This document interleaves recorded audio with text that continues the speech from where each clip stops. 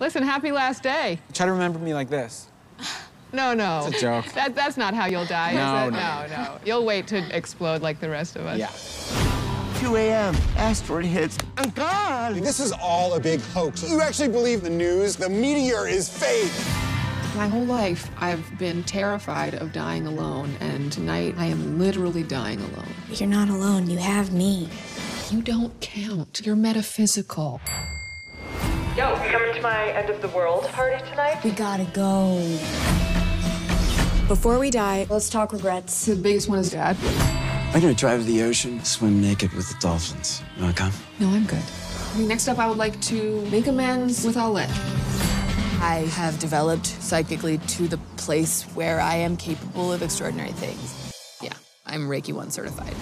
And then Larry. Hey, Liza, here to tell me you love me? There's nothing coming out of those speakers. I found it on the street, but I thought it was a cool visual. Oh, okay. I think it's it's broken. What?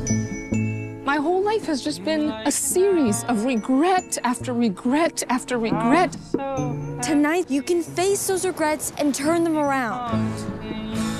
Let's go out with a bang.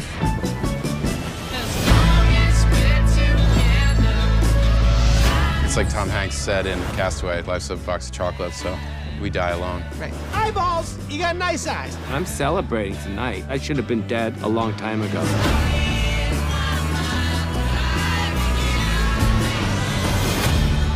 It's like an existential scavenger hunt for your soul. Yeah, I guess. Oh, I dig that.